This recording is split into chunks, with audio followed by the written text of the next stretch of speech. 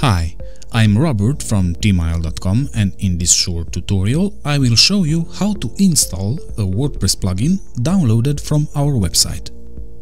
Plugins are great to extend your WordPress capability and enhance the functionality of your website. There are free and paid WordPress plugins with lots of capabilities and in this video you will see how to use any of them. The only way to install and use WordPress plugins is to have administrator access to a self-hosted WordPress website. If your website is on wordpress.com, you are simply unable to use capabilities that I am talking about in this video.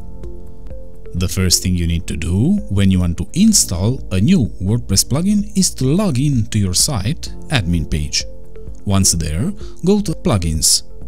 Here, you will see all the plugins you have currently installed in your WordPress application. To add another one, simply click on the Add New tab. You can simply upload it from the Plugins Upload Plugin section in WordPress. To do this, click on the upload link at the top of the page. Now, click the Choose File button, select the archive of your plugin from your local computer and press the Install Now button. In a few seconds, WordPress will upload and extract the plugin archive for you. All you need to do next is to press the Activate link under the message for successful plugin installation. Your WordPress plugin is installed and activated now. To find out some plugin suggestions for your WordPress website, please check the description below this video and choose the one that fit your needs.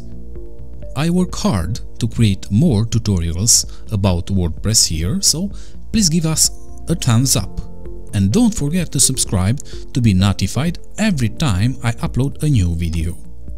Just keep in mind, please, to click on the bell and tick to receive all notifications for this channel. Thank you.